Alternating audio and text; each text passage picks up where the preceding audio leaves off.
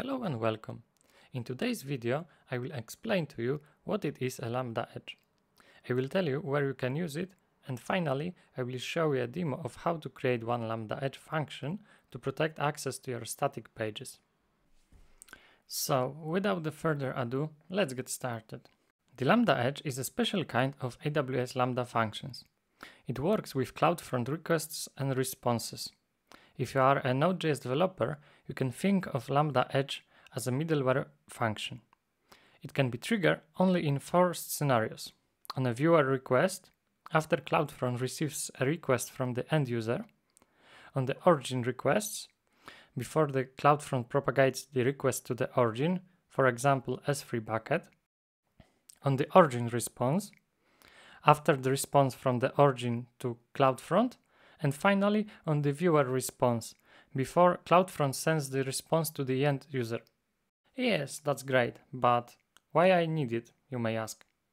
There may be multiple reasons to use Lambda Edge. For example, the application of the Lambda Edge may be the A-B testing. The idea is simple.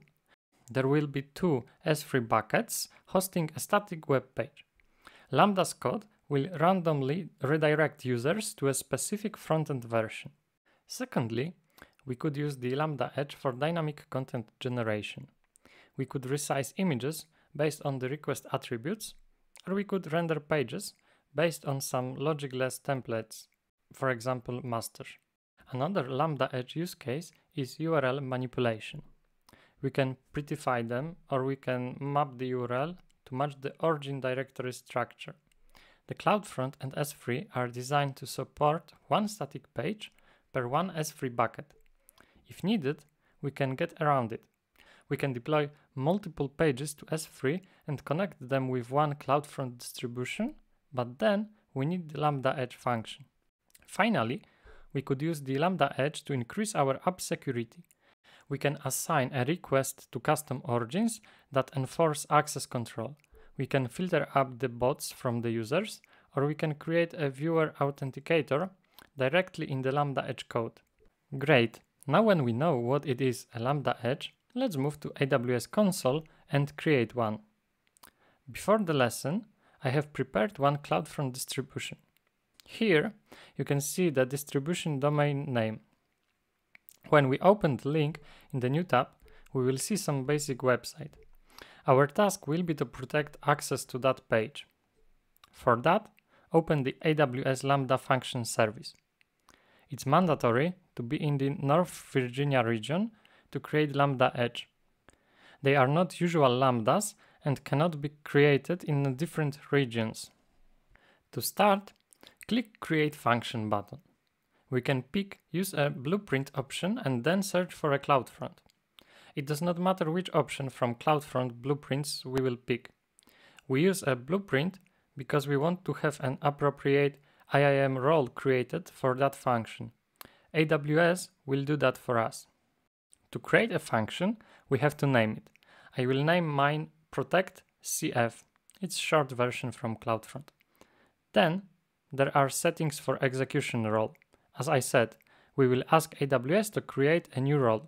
That's very convenient. We will have certainty that all required accesses are set. I will name my role protect CF function role. Then, at the bottom of the page, you can see the code which will be created. Don't worry, we will change it in the next step. Please click Create Function. On the next page, you will see a pop-up asking you to pick CloudFront distribution. Please click Cancel. Firstly, we will modify the Lambda's code, then we will set the distribution. Scroll a little to the code source editor and delete the code. At the description of this video, you will find the link to the GitHub repo containing working code. The code is pretty simple. It's a casual Lambda handler with an additional third parameter called callback. To the callback, we can pass a modified requests, and that's exactly what we want to do. So, firstly, the code is searching for requests header. Then we have a hard-coded username and a password.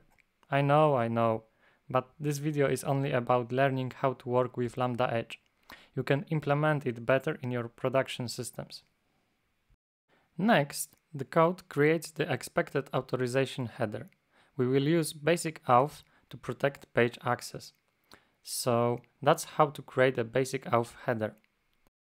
Finally, we compare the user's header with the expected one. If they do not match, we send an unauthorized response. Look at the headers we send with the response. By setting www-authenticate header, we will force the web browser to protect the website access. You will see it in the minute. To send this response, we pass it to the callback function. On the other hand, if the headers match, we do nothing. We pass the unmodified request to the callback. Cool. Having this function ready, please click deploy. This will make our function ready to connect to CloudFront. Next, let's move back to the top of the page. Here, you can see the Add Trigger button. Click it and search for a CloudFront. Then you will see the same pop-up as you have seen before. At the first field in the form, you have to pick your distribution. It's crucial to pick the right one.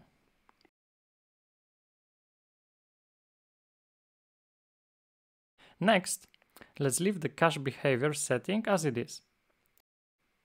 But we have to change the CloudFront event. Instead of the origin request, let's pick viewer request. We expect our Lambda to be triggered when the user enters the URL in the browser. Then confirm the deploy to the Lambda Edge and click Deploy button.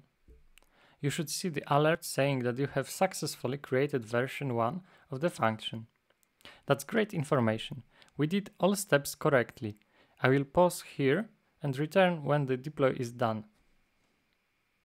Great, now the deploy is done and we can verify if our function is working. To do so, let's copy the distribution domain name and open it in the browser. Yes, now instead of seeing the web page, our browser is blocking the access. There is an alert asking of the credential. When we type correct credentials, we will see the page again. Cool, everything works as expected. Today we have learned what are the Lambda Edge functions and how to create one. Thank you for the watching. If you are keen to learn more about AWS services, please check out one of my others video. Have a nice day.